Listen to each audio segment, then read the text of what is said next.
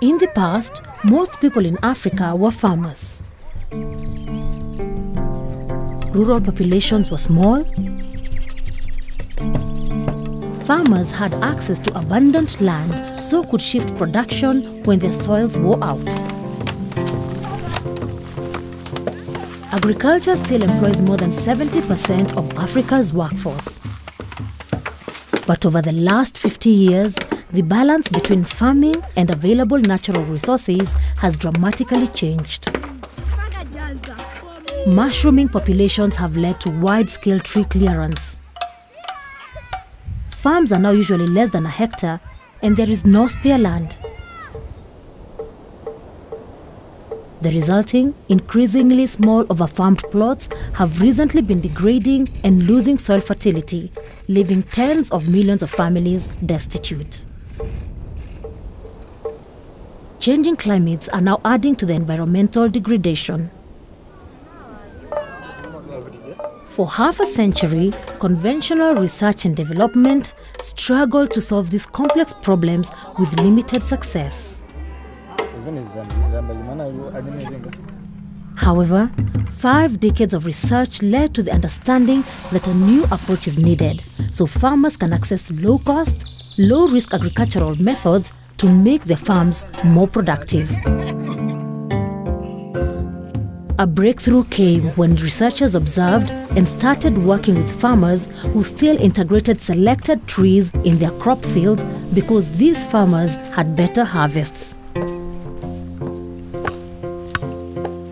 In Zambia and Malawi, a variety of farming systems were then developed using combinations of zero tillage, crop rotation, and crop residues to protect and improve soils.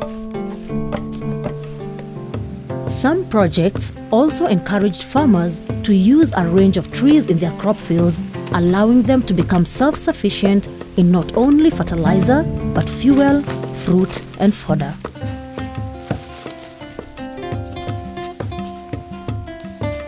Evidence also arrived from the overfarmed croplands of West Africa. Farmer managed natural regeneration of local tree types is reversing 50 years of tree cutting and desertification. All these methods were united under the heading of the new approach because the aim was to re-establish an all-year useful green cover across the land. It was called evergreen agriculture. mitengo imene nazala pamene papo ndi grisidia naganiza zozala mitengo chifukwa na sinali bwino naye sikanipindulisa machaka nimavutika nawo miezi itatu iyo kusiwa chakudya matenda amene ya nawo nao anawa ndi malungo ndipo kunyenchera mbewu zimene ndikuzala panopo zikundipasa ineyo chakudya chochoka eh, chochuluka kwambiri. Zochokera ku mitengo imene ili yochulukisa nthaka nimagwirisaso ntchito masamba kudyesa ziweto zanga monga mbuzi ndimapindulapo ineyo popeza nkhuni zophikira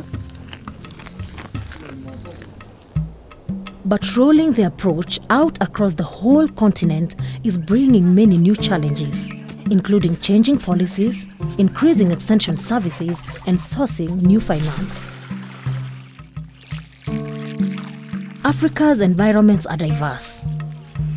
People from different places need the choice of different tree crop combinations, and this wide variety still needs research. So, new trees can be introduced to new areas to create income generating opportunities.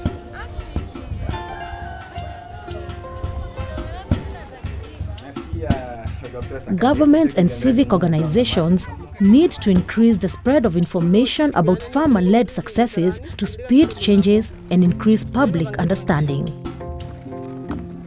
Farmers have to help more farmers access messages.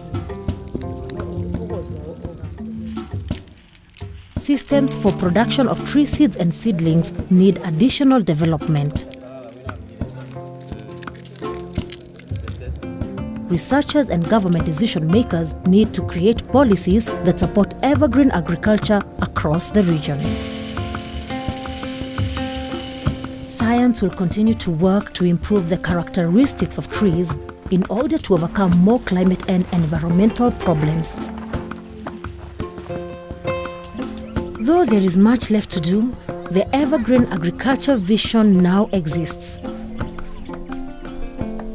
It foresees a landscape where single crop fields are replaced by a richer, more sustainable biodiversity, allowing farmers to adapt to climate changes and increase their harvests under a full canopy of trees.